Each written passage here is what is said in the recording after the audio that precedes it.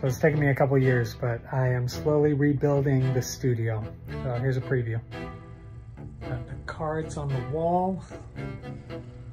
Got the table set up. Got the library rebuilt. So yeah.